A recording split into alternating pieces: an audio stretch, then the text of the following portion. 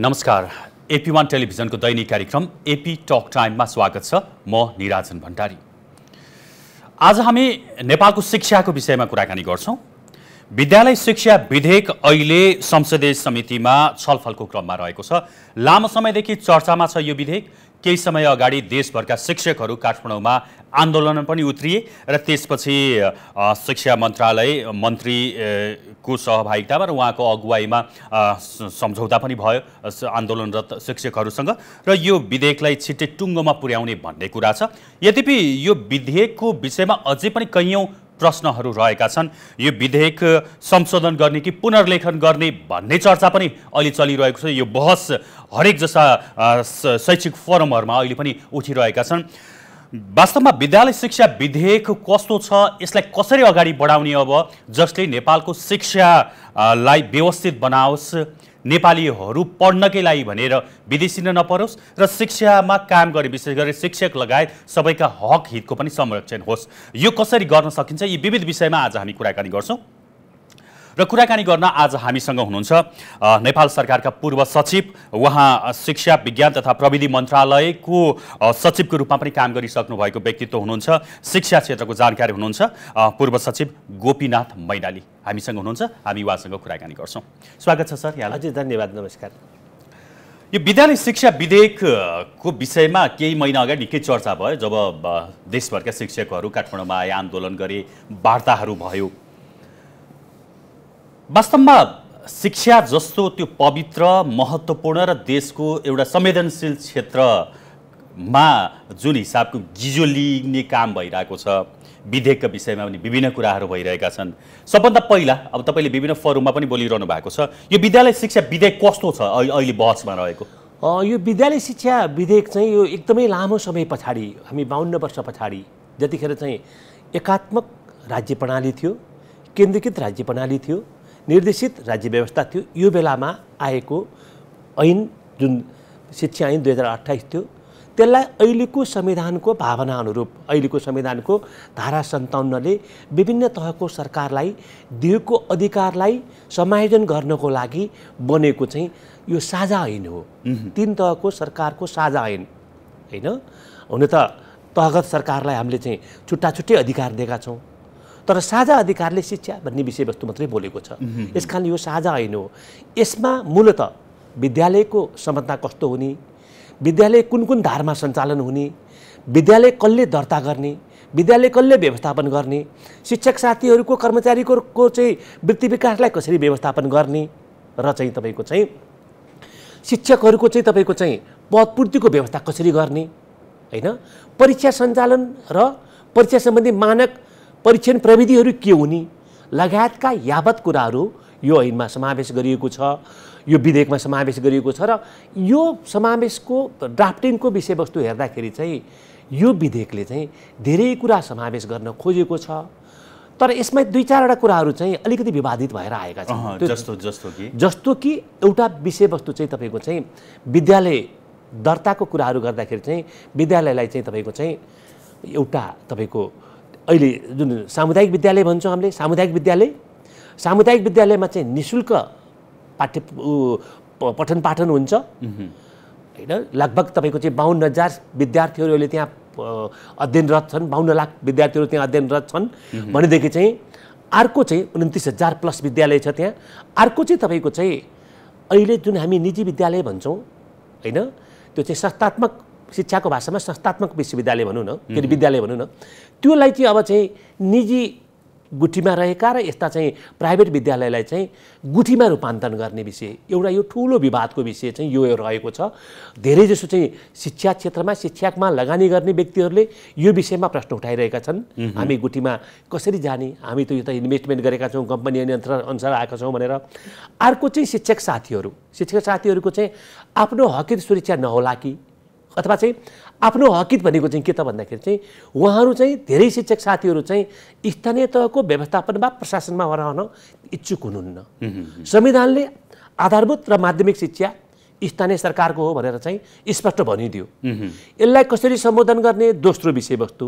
र यी दुईवटा विषयवस्तुहरूमा गिजल गाजल गर्दाखेरि चाहिँ मूल विषयवस्तु के हो त भन्दा चाहिँ विद्यार्थी भाइ बहिनीहरूको चाहिँ भविष्य सुनिश्चित गर्ने। यसको केन्द्रबिन्दुमा चाहिँ के हुनुपर्छ त? विद्यालय शिक्षा ऐनको केन्द्रबिन्दुमा हुनुपर्ने कुरा चाहिँ के हो त भन्दाखेरि चाहिँ यो चाहिँ तपाईँको चाहिँ भाइ बहिनीहरूको भविष्यको सुरक्षा होइन। राष्ट्रले चाहेको जस्तो चाहिँ शिक्षा कसरी ऊ चाहिँ कसरी विद्यार्थी कसरी उत्पादन गर्ने होइन? समाजले चाहेको जस्तो कसरी उत्पादन गर्ने? समाजले चाहिँ के चाहेको छ त भन्दा चाहिँ एउटा चाहिँ संस्कारयुक्त सदाचारी नागरिक चाहेको छ। एकदमै। राज्यले के चाहेको छ त भन्दा एउटा मानव साधन मानव पुँजी चाहेको छ र व्यक्ति स्वयंले के चाहेको छ त भन्दा मलाई चाहिँ मेरो प्रतिभा स्फुरण गर्न सक्ने र मलाई आफैलाई भारी हुने होइन कि त्यो शिक्षा आर्जन गरिसकेपछि मैले जीवन निर्वाहको लागि सिप पाऊँ। होइन? यति तिनवटा कुरालाई सम्बोधन गर्नुपर्ने थियो। यो तिनवटा कुरा अरू दुईवटा कुरा पेरिफेरीको कुराहरू जस्तो अब यो यो विषयगत यो यो बुदागत रूपमा पनि हामी कुराकानी गर्छौँ। यसको समग्र यसले बोक्नुपर्ने एउटा यसको सुन्दरता भनौँ यसले दिनुपर्ने चिज भनेको विद्यार्थीलाई नै हो। हजुर। होइन राम्रो शिक्षा दिने विद्यार्थी कोही पनि विद्यार्थी चाहिँ कोही पनि बालबालिका विद्यालय जानबाट वञ्चित नहुन् राम्रो शिक्षा पाउन् संस्कारयुक्त शिक्षा पाउन् तपाईँले भन्नुभएको छ। त्यो जिस्ट बोक्न सक्छ। हेर्दाखेरि त शिक्षकहरूको आफ्नो स्वार्थलाई चाहिँ अलिकति बढी प्रायोरिटी दिएर आन्दोलनमा उत्र्या सडकमा उत्र्या जस्तो देखिन्छ। विद्यार्थीहरूलाई केन्द्रबिन्दुमा राखिएको छ यो विधेयकमा? यो विधेयकमा चाहिँ धेरै राखिएको छैन भन्छु मैले। धेरै कुरा राखिएको छैन त्यहाँ यो। यसले चाहिँ शिक्षा शिक्षकहरूको प्रशासन र पाठ्यक्रमको प्रशासन गर्ने कुराहरू अलिकति समतागत पक्षमा ढल्केको छ यो। कोर विषयवस्तु भन्दा पनि समताको विषयवस्तुहरूमा शिक्षक साथीहरूको चाहिँ हकित विस्तार उहाँहरूको हकित विस्तार गर्नुपर्छ। त्यो सुनिश्चित हुनैपर्छ तर केन्द्रबिन्दुमा चाहिँ के हो त भन्दा चाहिँ शिक्षा विद्यालय शिक्षा हो त्यो। भाइ बहिनीहरूको भविष्य हो सुन्दर भविष्य हो। त्यस कारणले चाहिँ योलाई समेट्न सकेको छैन। जहाँसम्म समितीय प्रक्रियामा अहिले जुन प्रवेश गरिरहेको छ त्यहाँ कतिपय विज्ञहरूले कतिपय मान्य सांसदहरूले चाहिँ यो कुराहरू चाहिँ कति छुट्यो कि यसलाई पुनर्लेखन गर्न पर्छ कि? यी छुटेका कुराहरूलाई केन्द्रबिन्दुमा राखेर एक्काइसौँ शताब्दीको शिक्षा नेपालमा चाहिँ अब संस्थागत गर्नुपर्छ भन्ने विषय उच्च शिक्षा आयोगको चाहिँ प्रतिवेदनहरू पनि छ जुन सार्वजनिक भएको छैन।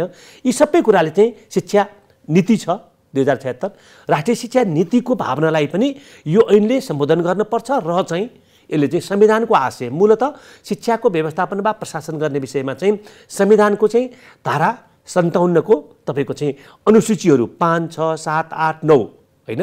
विशेष त अनुसूची चाहिँ नौलाई सम्बोधन गर्न पर्ने गरी चाहिँ साझा अधिकारको क्षेत्र।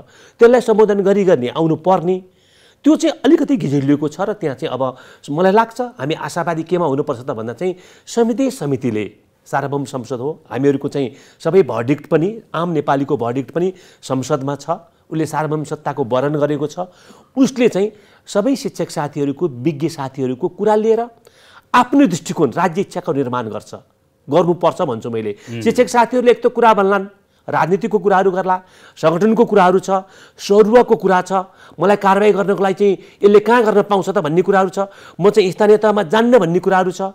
उहाँहरूको कुरा सुन्नुपर्छ किन उहाँहरूको लागि ऐन बनाइएको बनाउन लागि हो। तर सबै कुरा उहाँहरूको सुन्ने कुराहरू होइन किनभने राज्यले संविधानको मार्गदर्शक सिद्धान्तहरू संविधानको अभिष्ट र चाहिँ तपाईँको चाहिँ आम शिक्षा प्रणालीले कस्तो चाहिँ कुराहरू खोजेको छ भन्ने कुरा देखाउन सक्नुपर्छ। त्यस कारण राज्य इच्छा निर्माण गर्ने चाहिँ संयन्त्र भनेको संसद हो। त्यो संसदले चाहिँ सबैको चाहिँ अपेक्षालाई सम्बोधन गरेर चाहिँ केन्द्रबिन्दुमा चाहिँ विद्यालय शिक्षा अथवा चाहिँ भाइ बहिनीलाई राखेर। निर्णय गर्नुपर्छ र मलाई लाग्छ गर- गर्छ भन्ने कुरामा म विश्वस्त छु। एकदमै। दुईवटा महत्त्वपूर्ण विषय उठ्या छ। यो यो विषयमा थोरै तपाईँसँग मैले बहस गर्न खोजेँ। प्राइभेट स्कुलहरू गुठीमा जाने भन्ने जुन विधेयकमा समेटिएको विषय छ। यो सुन्दाखेरि असाध्यै राम्रो लाग्छ होइन? तर व्यवहार त यो पुरा होला अथवा यो विधेयकको यो टपिक यो यो बुदा चाहिँ संशोधन नहोला अथवा यत्तिकै जाला भनेर विश्वास गर्ने ठाउँ चाहिँ अलिक कमै देखिन्छ जस्तो लाग्छ। किनकि अघि नै अलिकति तपाईँले पनि उठाउनु भएको छ यति धेरै अरबौँको लगानी गरेका छन् होइन? अब राजनीति राजनीतिलाई नै प्रभाव पार्न सक्ने व्यक्तिहरू चाहिँ शिक्षामा लगानी गरेका छन्। अब क बेला बेलामा आउँछ। होइन कङ्ग्रेसका एमालेका माओवादीका वरिष्ठ सिनियर शीर्ष तहका नेताहरूको यति महँगा विद्यालयहरू छन् कि नेपालमा होइन पढ्न आम नेपालीले त कल्पना पनि गर्न सक्दैन त्यहाँ। अब त्यस्ता विद्यालयहरूलाई पनि त यो विधेयक आएपछि त काम लाग छुन्छ। अब प्राइभेटबाट गुठीमा जान सक्ने त्यो जान सक्छ भनेर विश्वास गर्न सकिन्छ? यो यो यो कुरालाई हामी कसरी विश्लेषण गर्छौँ? सरकारको चाहिँ दरो इच्छा शक्ति भयो भने सक्छ। तर अहिले चाहिँ दरो इच्छा शक्ति देखिएको छैन। मैले चाहिँ त्यो भन्छु। मैले एउटा यहाँलाई सानो सरकारले रुचि नदेखाएको हो कि अब तपाईँ त ब्युरोक्रेट्समा यत्रो वर्ष काम गर्नु भए व्यक्ति हुनुहुन्छ होइन? सचिवजीको एउटा साइनले नै एउटा जुन कानुन निर्माण हुने अवस्था त्यो त्यो पोस्टमा तपाईँले सम्हालेर आइसक्नु भएको छ। यो सरकारले नचाहेको हो कि सरकारले नचाहन बाध्य बनाइएको हो दोस्रो कुरा भनौँ न। सरकारले कतिपय अवस्थामा चाहिँ नचाहेको पनि हो। उसले अलिकति चाहिँ जनप्रियताको कुराहरू पनि गर्छ आम शिक्षाविदको कुरालाई पनि लिन्छ। तर भित्री उसको जिस चाहिँ के हुन्छ त भन्दाखेरि चाहिँ होइन नि त। यसमा लगानीकर्ताहरूको लगानी पनि संरक्षण होस् र यिनीहरूले चाहिँ नीतिमा चाहिँ प्रशस्त प्रभाव पार्न सक्ने हैसियत यिनीहरू छन् त्यो त्यो- त्यसलाई मैले सम्बोधन गर्न सक्दिनँ। अझ कतिपय अवस्थामा त शिक्षामा लगानी गर्ने व्यक्तिहरू नै हाम्रा मान्यज्यूहरू मन्त्रीज्यूहरू अथवा चाहिँ तपाईँको चाहिँ विभिन्न चाहिँ तपाईँको चाहिँ नीतिको चाहिँ प्रभाव पार्न सक्ने चाहिँ संरचनामा काम गरिरहनु भएको छ। त्यसले गर्दाखेरि भित्रैबाट उहाँहरूले चाहिँ पोलिसी बेनिफिट क्याप्चर गर्नु खोज्नुहुन्छ। एकदमै। त्यहाँ लगानी गर्ने व्यक्तिहरूले होइन? यसले गर्दाखेरि मैले एउटा सानो उदाहरण म यहाँलाई के दिन्छु त भन्दाखेरि चाहिँ केही अगाडि चाहिँ नेपाल सरकारले चाहिँ अलि अगाडि म उपसचिव थिएँ शिक्षा मन्त्रालयमा थिएँ। त्यो बेलामा नेपाल सरकारले के गर्यो त भन्दाखेरि चाहिँ शैक्षिक वर्षलाई साउन एक गतेबाट आर्थिक वर्षसँग मिलान गर्न खोज्यो। हो। तर बोर्डिङ विश्वविद्यालयहरूको चाहिँ सङ्गठनहरूले त्यो विषय लागू गर्नै दिएन। हुँदै भएको छैन र उनीहरूले चाहिँ त्यसलाई चाहिँ वैशाख एकतै कायम गरेर आए र सरकारले अर्को वर्षदेखि फेरि वैशाख एकति नै शैक्षिक वर्ष यही नै कायम हुने भनेर भन्यो। यस्तो प्रकारको चाहिँ तत्परता अथवा नीति प्रतिबद्धता यदि सरकारको भयो भनेदेखि चाहिँ अहिले त्यो चाहिँ अरबौँ लगानी गरेको चाहिँ विद्यालयहरू छन् त्यो विद्या निजी क्षेत्रका विद्यालयहरू छन् वार्षिक रूपमा लगभग अहिलेको हिसाब किताब गर्दा चाहिँ बहत्तरदेखि पचहत्तर अर्ब चाहिँ त्यहाँ लगानी भएको छ उहाँहरूको। भनेपछि चाहिँ सरकार सङ्घीय सरकारले चाहिँ एक सय सन्तानब्बे अर्ब लगानी गर्छ। एक खर्ब सन्तानब्बे दुई दुई खर्ब भनौँ न त्यति लगानी गर्छ। मैले भन्न खोजेको ठुलो लगानीको भार पनि उनीहरूले बोक्नु भएको छ बोकेका छन्। तर सरकारले चाहिँ के कल्पना गर्यो त? विश्वव्यापी मान्यता पनि हो। के त्यो के मान्यता हो त भन्दाखेरि चाहिँ शिक्षा भनेको सोसियल गुड्स हो। त्यो भनेको राज्यको दायित्व हो शिक्षा र स्वास्थ्य चाहिँ प्राइमरी सोसियल गुड्स होइन। त्यो सोसियल गुड्स भएको हुनाले राज्यले मिनिमम रूपमा चाहिँ त्यसमा चाहिँ तपाईँको चाहिँ प्रत्याभूति गर्नुपर्छ। त्यसको गुणस्तरको प्रत्याभूति फी स्ट्रक्चरको प्रत्याभूति त्यसको चाहिँ समताको प्रत्याभूति सबै राज्यले गर्ने हो। तर निजी क्षेत्रले ठुलो गरे लगानी गरेको कुरा चाहिँ कहाँ हामी अहिले चाहिँ गुठीमै जान सक्छौँ त? हामी त प्रफिट मेकिङ इन्स्टिट्युसन हो नि त। भनेर उहाँहरूले त्यो कल्पना गरिरहनु भएको छ र प्रभाव पारिरहनु भएको छ र कतिपय फोरमहरूमा यहाँहरूकै फोरममा पनि मैले त्यो कुराहरू सुनिरहेको छु। त्यही त यही मैले हजुरलाई रोकेँ। यस्तो परिस्थिति छ। अब यहाँ त शक्ति सत्ता पैसाको कुराहरू आउँछ। अब यो देखाउनको लागि विधेयक एउटा प्रोसेस छलफल गर्ने त छँदैछ। त्यहाँ जानुभन्दा अगाडि अफ इयरमा के कस्ता कुराहरू कसले के गर्छन् त्यसले पनि प्रभाव पारिरहेको हामी देख्छौँ होइन? त्यसलाई हामीले नगार्न सक्दैनौँ। हजुर। अघि नै मैले अलिकति भने अब जस्तो मानौँ न एकछिनलाई अरबौँको लगानी गर्नु भएको छ कङ्ग्रेसकै सांसदहरूको स्कुल छ देशकै प्रतिष्ठित स्कुल छ होइन? अब विभिन्न सञ्चार माध्यममा थियो सबभन्दा महँगो स्कुल त कङ्ग्रेस सभापतिको श्रीमतीको जो सांसद हुनुहुन्छ आर्जु राणा देउबाको छ। उहाँ पनि संलग्न हुनुहुन्छ। उमेश श्रेष्ठको स्कुल त्यस्तै छ होइन? अरू अरू पार्टीका त्यो तहका व्यक्तिहरूको स्कुलहरू यति महँगा छन् कि अब यो विधेयक पास गरेर त्यो प्राइभेट स्कुललाई गुठीमा लान त उहाँहरू त चाहनुहुन्न होला होइन? उहाँहरूको प्रभाव र रफ त त्यहाँ देखिएला नि त। त्यही भएर यो पारित हुने सम्भावना यो पोइन्ट कतिको देखाउँछ मैले चाहिँ के भन्छु त भन्दा सरकारले एउटा चाहिँ ठुलो चाहिँ उ गरेर सरकारले लिएर आयो यो विधेयक। सरकारले ड्राफ्ट गरेको हो नि त यो। तपाईँ मैले ड्राफ्ट गरेको होइन नि त। सरकारको तर्फबाट आएको सरकारको भिजन यहाँ त स्पष्ट देखिएको छ। त्यस कारणले गर्दा सरकारले सक्छु भनेर आएपछि चाहिँ सक्नुपर्छ त्यो होइन. किन त्यो भिजन लिएर आयो त सरकारले? भन्दा चाहिँ यो चाहिँ सोसियल गुड्स हो। शिक्षा विभाजक हुनु भएन। गरिबले एक प्रकारले पढ्ने धनीले एक प्रकारले पढ्ने भन्दा पनि धेरै प्रकारको चाहिँ लगानीहरू हुने भन्दा पनि यसले के गर्नु पर्यो त भन्दा एउटा स्तरीय शिक्षा कोही पनि शिक्षा चाहिँ शिक्षाको व्यक्ति चाहिँ शिक्षाको उज्यालो घामबाट वञ्चित नहोस् भन्ने आधारबाट यो कुराहरू आएको छ भने सरकारले बरु ठुलो लगानी गरेकोलाई त्यो लगानीको लागि चाहिँ केही सहुलियत दिएर केही समयसम्मको लागि चाहिँ यसलाई चाहिँ तपाईँको चाहिँ टाइम पिरियड दिएर यसलाई चाहिँ तपाईँको चाहिँ क्रमशः गुठीमा लिएर आउनको लागि चाहिँ सरकारले त्यो प्रावधान अहिलेको ऐनमा कल्पना गरेको छ राखेको छ। मलाई लाग्छ त्यही भावना हुनुपर्छ भन्छु मैले। किन त भन्दा चाहिँ शिक्षामा त यहाँ त कस्तो भइदियो त भन्दा चाहिँ एउटा जहिले पनि रुलर जन्माउने एउटा रुल जन्मिने होइन? एउटा चाहिँ अहिले यहाँ कुरा गरौँ न सरकारले लगानी गरेको विद्यालयमा चाहिँ पर इयर आधारभूत तहको चाहिँ विद्यार्थीमा चाहिँ तपाईँको चाहिँ अठारदेखि तेइस हजार पर इयर खर्च हुन्छ। जबकि निजी क्षेत्रले लगानी गरेकोमा चाहिँ साठी ख साठी हजार खर्च हुन्छ। र पर पर विद्यार्थी भनेपछि त्यो साठी हजारले चाहिँ अलिक बढी चाहिँ स्तर त देला नि त होइन? त्यो अलिकति बढी प्रतिस्पर्धी त होला नि त। त्यस कारणले गर्दाखेरि चाहिँ म चाहिँ के भन्छु त भन्दा चाहिँ अहिले लिएर आएको ऐनमा जुन गुठीमा परिणत गर्ने भन्ने प्रावधान असाध्यै स्वागतयोग्य असाध्यै राम्रो छ।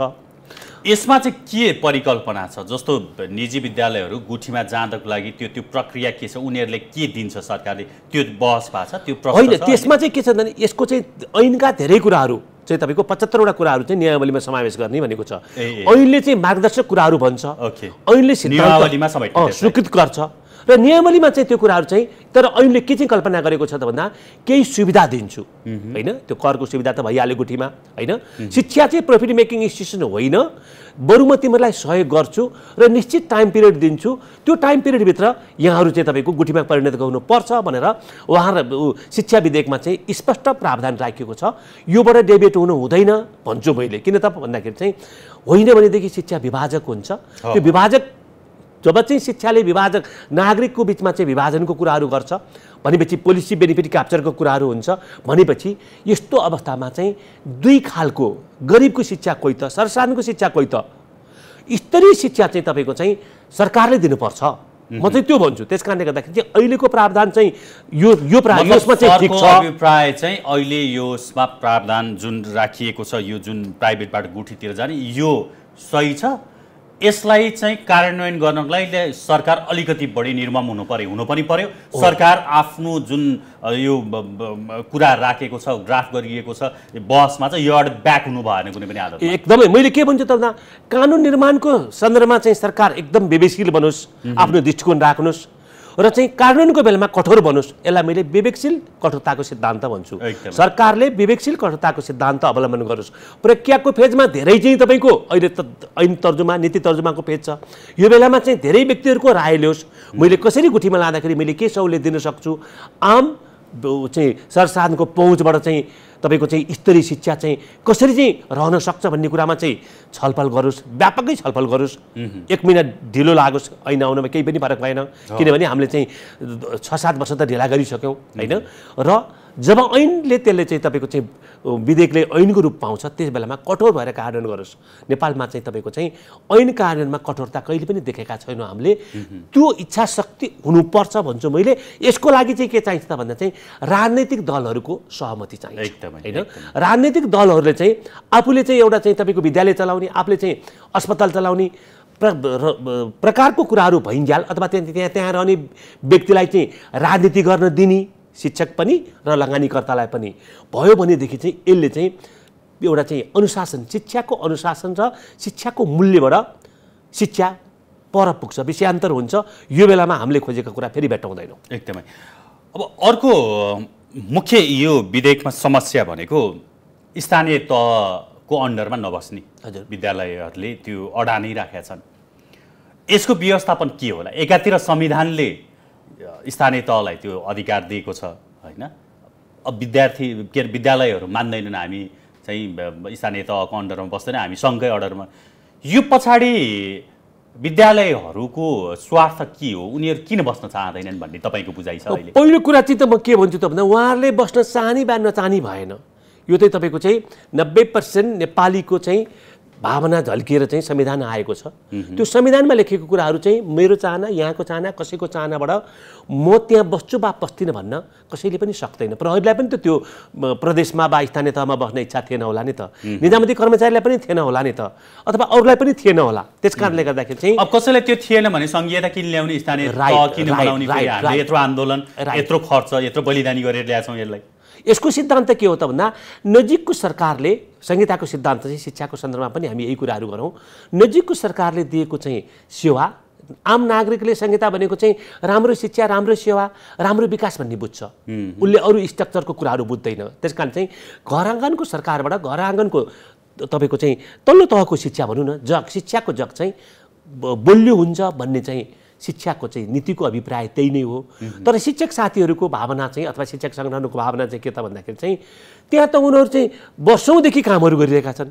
वर्षौँदेखि कामहरू गर्दाखेरि चाहिँ उहाँहरूले चाहिँ तपाईँको चाहिँ स्थानीय पदाधिकारीलाई पनि चिन्नुभएको छ केही शङ्का गर्नुभएको छ उहाँहरूले। किनभने उहाँहरूले राजनीति गरिरहनु भएको छ उहाँ कुनै पार्टीमा कामहरू गरिरहनु भएको छ स्पष्ट त होइन खुल्लेआम कुनै शिक्षक तपाईँ कुनै पोलिटिकल पार्टीको चाहिँ तपाईँको चाहिँ महाधिवेशनमा भाग लिनुभएको छ सम्मेलनमा भाग लिनुभएको छ उठ्नु पनि भएको छ। यो अवस्थामा चाहिँ उहाँहरू चाहिँ अब त्यो नजिकको सरकारले त सबै चिन्छ नि त। सङ्घीय सरकारमा भयो भनेदेखि चाहिँ अलिकति म पर पुग्न पाउँछु र मलाई चाहिँ स्थानीय सरकारले चाहिँ जसरी चिन्छ सङ्घीय सरकारले त्यति चिन्दैन। यो नचिनेको अवस्थामा चाहिँ मेरो हकित हकित भनेको चाहिँ तपाईँको अर्को पक्षको हकित भने मैले व्यवसायको हकित भन्दा पनि अरू कुराहरू चाहिँ मैले त्यहाँसम्म सजिलैसँग चाहिँ पाउन सक्छु भन्ने कुरा उहाँहरूमा बोध भएको छ। मैले यहाँहरूलाई एउटा उदाहरण दिन्छु। एउटा साथी चाहिँ पत्रकार हुनुभएछ। त्यो पत्रकार चाहिँ राष्ट्रियको अहिले उहाँ खस्नुभयो उहाँले चाहिँ उहाँ शिक्षक हुनुहुँदो रहेछ। उहाँले जीवनमै चाहिँ पढाउनु भएको छैन। काठमाडौँको कुनै विद्यालयको शिक्षक। तर चाहिँ उनी चाहिँ जहिले पनि चाहिँ राष्ट्रिय स्तरको पत्रकार भएर बस्नुभयो। भनिसकेपछि यस्तो प्रकारको चाहिँ अवस्था त यदि स्थानीय तहमा चाहिँ सबै प्रशासन गर्ने कुराहरू भएपछि विद्यालय व्यवस्थापन समितिले त्यसलाई चाहिँ कन्ट्रोलमा लिएर आइसकेपछि स्थानीय सरकारले चाहिँ तपाईँको चाहिँ दिने अनुदान क्यालेन्डर उसले निर्धारण गरिसके पछाडि नियुक्ति र चाहिँ तपाईँको चाहिँ विभागीय कारवाहीको कुराहरू विभागीय व्यवस्थापनको कुरा उसले गरिसकेपछि चाहिँ त यो सम्भव हुँदैन कि भन्ने सम्भवतः शिक्षक साथीहरूलाई त्यो लागेको छ। एउटा पक्ष यो मैले नेगेटिभ पक्ष पनि पोजिटिभ पक्ष पनि हेरौँ। कतिपय स्थानीय तहमा चाहिँ जित्नु भएको साथीहरू पनि राम्रै भावनाका त छैनन् नि त। आफ्नो पोलिटिकल मोबिलाइजेसन गर्न उहाँहरू चाहनुहुन्छ नि त। त्यो शिक्षकलाई हिजोदेखि नै हामीले चाहिँ प्रतिबन्धित अवस्थामादेखि नै विद्यालय त तपाईँको चाहिँ राजनीतिक दलहरूको चाहिँ ब्रिडिङ ग्राउन्ड नै त्यही थियो। तीबाट चाहिँ राजनीति गरेर आएका हुन्। त्यस्तै व्यक्तिहरू हामीले शिक्षा मन्त्री अथवा चाहिँ शिक्षाका चाहिँ विधायकहरू पाएका छौँ होइन? शिक्षाको चाहिँ तपाईँको शिक्षक नभएको चाहिँ शिक्षा मन्त्री त हामीले कमै पाएका छौँ। त्यस कारणले गर्दाखेरि उहाँहरूले त्यो कुराहरू गरिरहनुहुन्छ र अहिले भएको कुरा चाहिँ के भन्दा यही सकस सकस मकस भन्छु मैले उकुस मुकुस। किन त भन्दा चाहिँ गर्नु परेको चाहिँ एउटा भित्रैबाट त्यसलाई इन्टलाइज गर्न सकेको छैनौँ। होइन? दिनु परेको चाहिँ स्थानीय तहलाई संविधानले पनि त्यही भन्यो वास्तवमा हुनुपर्ने पनि त्यही थियो। तर हामीले के भन्यौँ त भन्दाखेरि चाहिँ कानुनमा त्यो कुरा लेख्यौँ पनि। र त्यो कानुन लेख्ने व्यक्तिहरूलाई र त्यो कार्यान्वयन गर्ने व्यक्तिहरूलाई त्यसबाट प्रशासित हुने व्यक्तिहरूले चाहिँ यसलाई भित्रैबाट चाहिँ आन्तरिकरण गर्न सकेको छैनन्। यो आन्तरिकरण गर्नको लागि पनि मैले त के भन्छु त भन्दा केही विश्वासको वातावरण क्रिएट गर्नुपर्छ। शिक्षक साथीहरूलाई विश्वासको वातावरण। तिम्रो चाहिँ राम्रो काम प्रोफेसनल भएर काम गर्यो भने तिम्रो हकित कहिले पनि चाहिँ कहीँ पनि जाँदैन। तिम्रो पेन्सन पनि सुरक्षित छ। तिमीले काम गर्नुपर्छ राम्रोसँग। भन्ने किसिमको एउटा बुझाइको लेभल भयो भने शिक्षक साथीहरू त काम गर्नको लागि आएका हुन् नि त। उनीहरू काम नगर्नलाई आएको होइन नि त। त्यही त सरले एउटा पोजिटिभ एउटा नेगेटिभ कुरा गर्नुभयो यसको। हजुर। अब अलिकति नजिक हुँदाखेरि इगो हजुर। साथ दिन्छन् कि मलाई होइन? केन्द्रमा त मैले ग गएर गफ गरेर मिलाउँथेँ। यिनीहरूलाई त मिलाउन नि मिलेन। आँखाले देखिरहेको हुन्छन् भनेर शिक्षकले त्यो सोध्ने। अर्कोतर्फ प्रतिनिधिहरूले पनि ए हिजो हाम्रो चाहिँ पोलिटिकल सिस्टममा नआउने हामीलाई नटेर्नेहरू यिनीहरूलाई ठिक पार्नुपर्छ भनेर चाहिँ त्यो प्रकारको मिसयुज गर्ने हो कि भन्ने डर त्यो देखियो। अत्यन्तै सान्दर्भिक र गहन कुरा छ क्या यो। एउटा विश्वासको कमी त्यहाँ देखियो एउटा प्रोफेसनल हिसाबको कमी पनि देखियो।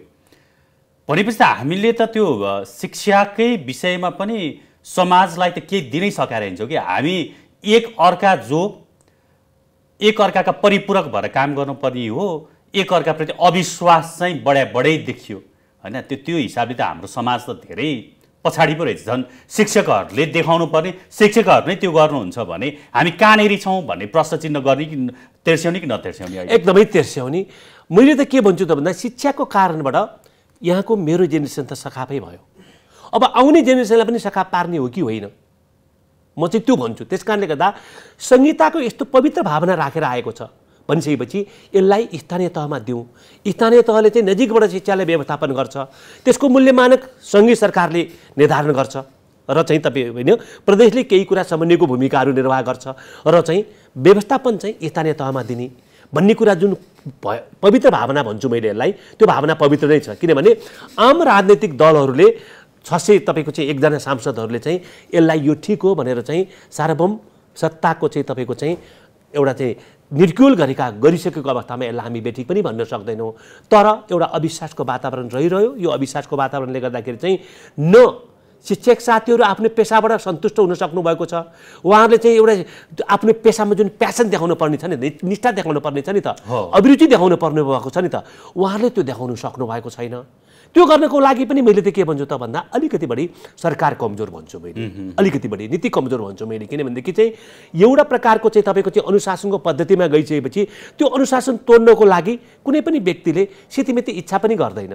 मैले सिङ्गापुरको कुराहरू तपाईँले हेर्नु न्युजिल्यान्डको कुराहरू हामी हेर्न सक्छौँ। त्यही एक प्रकारको परिपाटी बनेको छ। त्यो परिपाटी चाहेर पनि कुनै व्यक्तिले इच्छा हुँदा पनि चेन्ज गर्नै चाहँदैन। किनभनेदेखि चाहिँ यो त मैले अझै राम्रो गर्नुपर्छ। अझै राम्रो गर्नुको लागि शिक्षक साथीहरू हो। तर एउटा कहाँनिर चाहिँ अचिलो छ त भन्दा चाहिँ शिक्षाको तपाईँको पदपूर्तिको प्रणाली शिक्षामा जाने विद्यार्थी के अरे यो साथीहरू होइन? तपाईँको चाहिँ प्रतिभाहरू उहाँहरूमा पनि एउटा के छ त भन्दा चाहिँ आफूप्रतिको कन्फिडेन्स छैन। म सधैँभरि चाहिँ स्किल मल्टी स्किल रिस्किल भएर बस्नुपर्छ। शिक्षा भनेको त वास्तवमा चाहिँ एउटा जीवन्त तपाईँको चाहिँ सिकाइको प्रक्रिया पनि हो र जीवन्त उसले अभिनय गर्छ कक्षा कोठामा त्यो जीवन्त अभिनय गरेको यदि उसले चाहिँ राम्रो चाहिँ जीवन्त अभिनय गर्न सक्यो भनेदेखि तपाईँ म भविष्यका कर्णाधार बन्छौँ। हाम्रा भाइ बहिनीहरू हाम्रा छोराछोरीहरू चाहिँ भविष्यका कर्णाधारहरू बन्छन्। तर नसकेको आधारमा शिक्षा चाहिँ सका भएर म त के भन्छु त भन्दा चाहिँ शिक्षा बिग्रिएको कारणबाट नेपालमा राजनीति बिग्रेको। शिक्षा बिग्रिएको कारणबाट नेपालमा चाहिँ तपाईँको चाहिँ अरू अरू शासनहरू बिग्रेको अरू व्यवसाय बिग्रेको शिक्षा चाहिँ जब राम्रो हुन्छ तब न तपाईँको चाहिँ समाज व्यवस्थित हुन्छ। युग विषयवस्तुमा चाहिँ अहिलेको शिक्षा ऐनले अ, अ, प्रस्तावित तपाईँको चाहिँ ऐनले पनि यो धेरै कुराहरू समेट्न सकेको छैन होइन? शिक्षा राम्रोसँग विद्यालय। शिक्षा विधेयक प्रक्रियामै छ। संसदीय समितिमा छ। अब सम्भवतः यहाँबाट टुङ्गियो भने संसदमा पनि जाला होइन? तर जुन अनुरूप यसलाई स्पिडली लानुपर्ने हो सम्झौता पनि भयो। शिक्षकहरूले आन्दोलन गर्नुभयो। त्यो अनुरूप छिटै टुङ्गिन्छ भन्ने लाग्छ तपाईँलाई? यो यति धेरै विवादास्पद र गिजोलिएका कुराहरू छन् मिलाउन बाँकी छ। यो फास्ट ट्र्याकमा अब संसदीय समितिले हो के गरिदिएर संसदबाट तुरुन्तै पास हुने त्यो खालको सम्भावना देख्नुहुन्छ तपाईँ? मैले चाहिँ त्यो म चाहिँ आशा चाहिँ देख्छु होइन? तर सम्भावना अलिकति कम छ। आशा किन देख्छु त भन्दा चाहिँ आशा देख्नु बाहेक त तपाईँ मसँग विकल्पै छैन होइन? पक्कै राम्रो हुन्छ भनेर आशा देखौँ। तर अलिकति निराशा हुने ठाउँ अथवा चाहिँ त अलिकति तपाईँको चाहिँ सम्भावना चाहिँ कम किन छ त भन्दाखेरि चाहिँ यसलाई पुनर्लेखन गर्नुपर्छ भनेर एउटा ठुलो ग्रुप लागेको छ। पुनर्लेखन गर्नुको लागि यसलाई चाहिँ समितिमा जुन समिति प्रक्रियामा गइसकेको विधेयकलाई फेरि सरकारले फिर्ता लिएर पुनर्लेखन गरेर चाहिँ प्रवेश प्रस्तुत गर्ने एउटा त फेरि ब्याक फर्केर कथा हो। हो एउटा त्यो स्कुल अफ थटले काम गरिरहेको छ। अर्को चाहिँ स्कुल अफ थट भनेको चाहिँ के छ त भन्दा चाहिँ अलिक झिनो छ यो चाहिँ। समिति प्रक्रियाबाट परिमार्जन गर्न सकिहालिन्छ नि त। आखिर सरकारले यो चाहिँ ड्राफ्ट लिएर आएको हो यसका प्रावधानहरू चाहिँ विधायक उसले चाहिँ विधायकहरूले चाहिँ परिवर्तन गर्न सक्छन् र विज्ञहरूले शिक्षक साथीहरूले अभिभावक साथीहरूले चाहिँ यसलाई चाहिँ तपाईँको चाहिँ उदिन सकिहाल्छ त म त के भन्छु त विद्यार्थीको पनि राय लिनुपर्छ भन्छु। किनभने केन्द्रबिन्दुमा त विद्यालय रहेको हुनाले विद्यार्थीको पनि अभिभावकको पनि राय लिनुपर्छ भन्छु मैले। त्यस कारणले अहिलेको चाहिँ तपाईँको चाहिँ जुन पुनर्लेखनको प्रक्रियामा गयो भनेदेखि चाहिँ पुनर्लेखनको प्रक्रियामा चाहिँ यहाँलाई मैले भन्छु चाहिँ म भूमि व्यवस्था सहकारी गरी निर्माण मन्त्रालयको सचिव थिएँ। हामीले पचहत्तर सालसम्ममा चाहिँ गुठी ऐन ल्याएर आइसक्नु पर्थ्यो। नेपालको संविधान प्लस तपाईँको चाहिँ संविधानको चाहिँ तपाईँको चाहिँ अनुसूची चाहिँ त प्लस र धारा दुई सय नब्बेले चाहिँ तत्काल चाहिँ गुठी ऐनको कल्पना गरेको थियो। गुठी ऐन लिएर आयौँ समिति प्रक्रियामा भइसकेपछि केही गुठियार साथीहरू शिक्षकभन्दा गुठियार साथीहरू साना थोरै थियो। उहाँहरूको प्रभाव पार्न सक्ने शक्ति पनि कम थियो। तर पनि उहाँहरूले त्यसलाई चाहिँ उल्लुल्लु बनाएर चाहिँ हामीले फेरि फिर्ता ल्यायौँ। फिर्ता लिइसकेपछि त्यो चाहिँ अहिले गुठी ऐनविहीन रूपमा चाहिँ अहिले गुठी चलिरहेको छ। निजामती सेवा विधेयक पनि त्यस्तै भयो। यसलाई पनि कहीँ त्यही अवस्था आउने हो मलाई लाग्छ चाहिँ छ। यो चाहिँ पुनर्लेखनको प्रक्रियामा जानेर भनेर चाहिँ फेरि फिर्ता लियो भनेदेखि चाहिँ। गुठी ऐन र निजामती सेवा ऐनको विधेयकको जुन अवस्था थियो यसको पनि त्यही अवस्था हुन्छ भन्ने कुरा लगभग मैले त्यस्तै देखेको छु। हुन्छ सर आजको लागि समय सकिएको छ यहाँको समय र विचारको लागि म धेरै धन्यवाद दिन चाहन्छु। यहाँलाई पनि मेरो केही कुरा राख्ने मौका दिनुभएकोमा मरिभरि धन्यवाद दिन्छु। हस्। दर्शकबिन्द आज हामीले विद्यालय शिक्षा विधेयकको विषयमा कुराकानी गऱ्यौँ यो अहिले संसदीय समितिमा छ संसदीय प्रक्रियामा गइसकेको छ। हामीसँग यस विषयमा कुराकानी गर्नको लागि पूर्व सचिव जो शिक्षा विज्ञान तथा प्रविधि मन्त्रालय लगायतका अन्य धेरैवटा मन्त्रालयमा सचिवको जिम्मेवारी सम्हालिसक्नुभएका अनुभवी व्यक्ति हुनुहुन्छ गोपीनाथ मैनाली हामीसँग हुनुहुन्थ्यो। उहाँसँगको यही कुराकानीसँगै आजको लागि एपी टक टाइमको समय सकिएको छ। हामीलाई बिदा दिनुहोस्। नमस्ते।